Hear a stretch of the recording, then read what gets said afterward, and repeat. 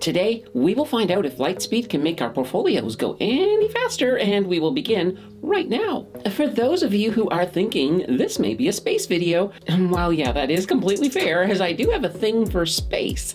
However, Lightspeed Communications is a point of sale and e-commerce provider that is based out of Montreal. Since its formation in 2005, Lightspeed has grown well beyond our Canadian borders. I do know there are some Lightspeed fans in the community, as a few few of them have requested this deep dive. Who am I to disappoint what the community wants? We are going to find out in this video if Lightspeed truly is worth all that fandom. Before we don our Lightspeed tees, let me know in the comments if this is your first real look into Lightspeed. I will admit, it is my first ever deep dive into them, and I am excited to see what we are going to find. As always, I am very grateful to see you all here in the home of free financial content on YouTube. If you are new, please subscribe right now so you won't miss a single moment. And a huge thank you for that click. Lightspeed has been around for 17 years, and initially they were solely about point of sale platforms for their retail partners. They have evolved beyond brick and mortar retail and have made a significant foray into e commerce. They have a, a, software as a service platform which provides their clientele the ability to engage with their customers, manage their business,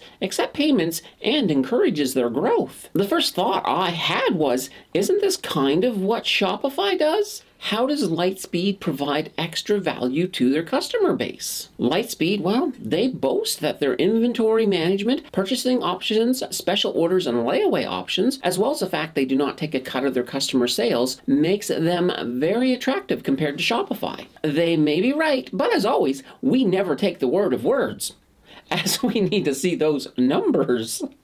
Let's start with some surface data. Their market cap is $3.5 billion, making them a mid cap company. Their beta comes in at a pretty high 2.96, which means they are very, very volatile compared to the market average. Their earnings per share comes in at negative 2.64, and they really do not have any concerns with future dilution, though they did experience a good amount of dilution in the last year, resulting in a 4.5% increase in their outstanding shares. With a negative EPS, their current earnings are unsustainable, and we can clearly see already that Lightspeed is more than likely unprofitable. Their price to earnings ratio comes in at negative 7.50, which is not surprising. That negative PE ratio means that they are losing money. Their earnings growth came in at negative 22.9% compared to the industry average of 17.4%. Seeing they are unprofitable, let's look at their price to sales ratio, which is 4.20 the price to sales ratio for the Canadian software industry average comes in at 3.50. So based on that, Lightspeed may be a wee bit overvalued. However, if we look at their fair PS ratio of 4.90, it does improve the situation a wee bit.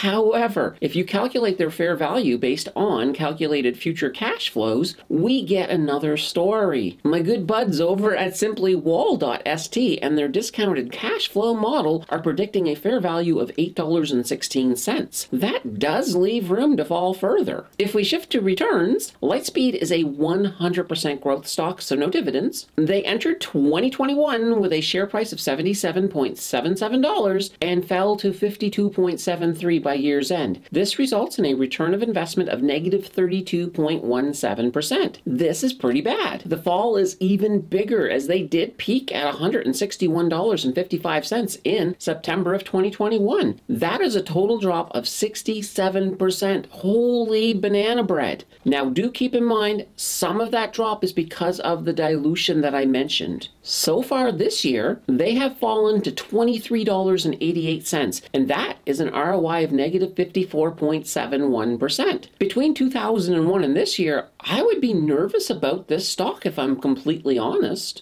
it is time to look at their debt. Their total debt is $29.9 million, and that is the absolute shining part of their fundamentals. When we look beyond debt and take in all of their liabilities, they come out way ahead in both the short and long term. Short term, they have $1.1 billion in assets compared to 181 million in liabilities. If we look long term, they have the same $1.1 billion in assets compared to 28.2 million in liabilities. This really is pretty good. But is it enough compared to those other fundamentals? They weren't pretty.